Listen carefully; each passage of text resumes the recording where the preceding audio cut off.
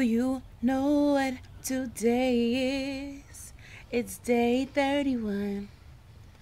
And my cleanse is done. Woo, woo, woo, woo.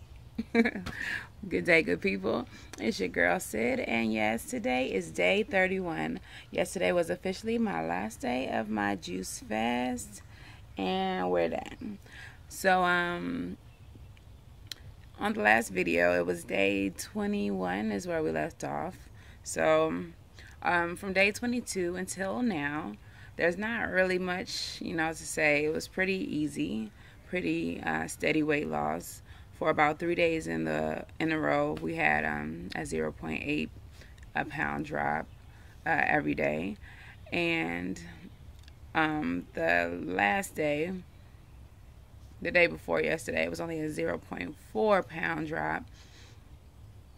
Um, mostly due to Aunt Flo and her treachery. But um, today I woke up to another 0.8 pound drop. So um, what I wanted to talk about in this video is breaking the fast and the pros and cons of the juice fast. So um, I want to go ahead and start with the pros and the cons. As usual, I have my notes here. So the pros obviously are the weight loss. Lost a lot of weight in these last 30 days. Um, skin clarity, I don't really have that much makeup on today. Um, just a little bit of powder, some eyeliner. I had to fleek out my eyebrows a little bit. Um, they look a little, yeah. But um, other than that, no makeup. My skin's gotten really clear. I didn't really have um, like a lot of pimples or acne or anything like that. Uh, but just the tone of my skin has gotten a lot clearer. Uh, also, tremendous energy all the way throughout the cleanse, maybe with the exception of the first few days. But even till now, um, even with me feeling lethargic uh, due to the PMS, still higher energy than usual. Um, before I started this cleanse as uh, a bartender, um, I shake a lot of tins, have to hold a lot of tins, and my fingers were really swollen a lot of times. Um, they would be tingly. Uh, even like in the middle of the night, I would like wake up and they would be swollen and tingly. Um, I had trigger finger, which is where like your finger gets stuck in one position and it hurts to get it out of that position.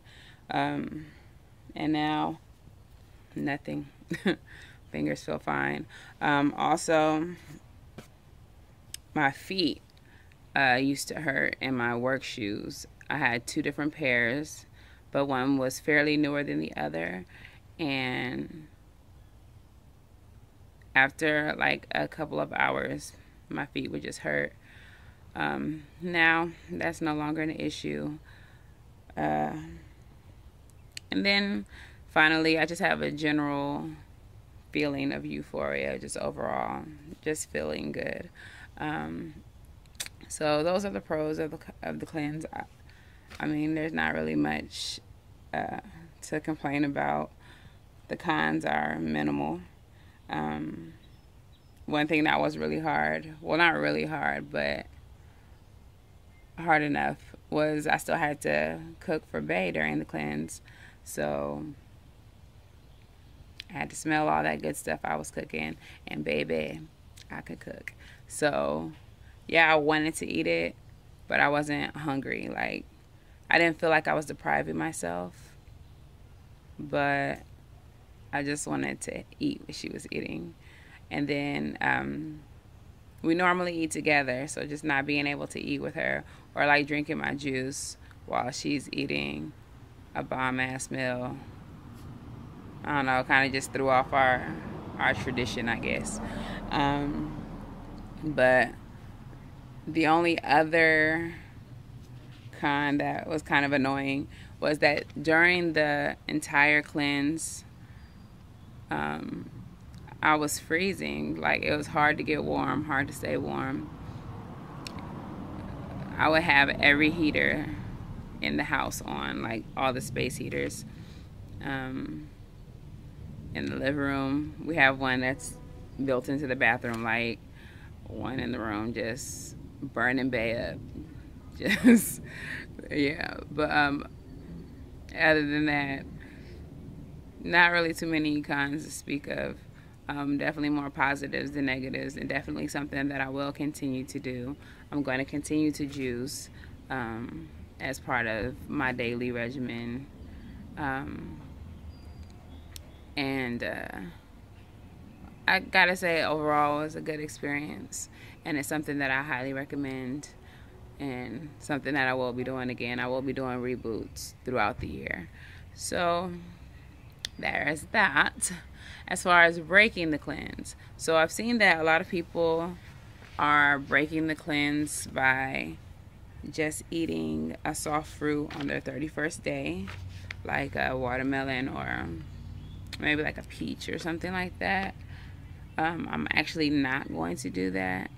I'm going to start by easing my body into softer foods by first breaking my fast with a smoothie. So I'll be making a smoothie after I'm done with this video um, with Arden's pH solution, um, frozen strawberries that I froze myself, not the kind that you buy from the store with the syrup and junk in them, and um, some frozen banana. So I'm going to blend all that together, and that's how I'll be having my first non-juice in 30 days. Uh, later on tonight, I'll be making a tomato basil soup. It is pureed, so again, it's not going to have any solid anything but it's going to be thicker than all the juices I've been drinking for the past 30 days. So that's how I'm going to ease myself back into it. Um, mostly soups for the next week or so and smoothies in the morning for the next week or so. Um, and then um, the soups are going to progress to more chunkier, vegetable filled, maybe like shrimp filled dishes. Not gonna just jump right into like chicken or anything that's harder to digest. But yeah that's how I'm going to be easing out of the cleanse.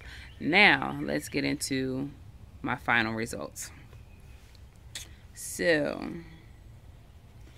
on day one my weight was 256.6 here on day 31 I am 229.2. So that is a total of 27.4 pounds lost in 30 days. Uh, so that's what's up. Um, I can see it a lot in my face. Um, other people can see it a lot in my face.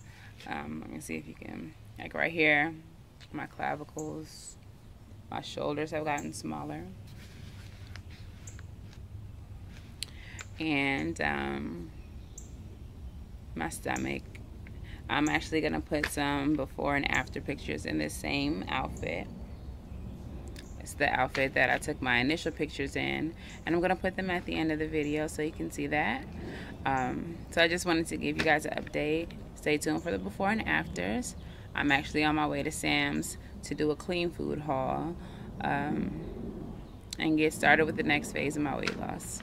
So stay tuned for all of that and thank you guys so much for watching. Make sure you like and share this video and do subscribe to my channel.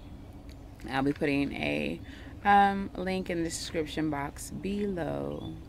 Gracias, good people. See y'all in the next video.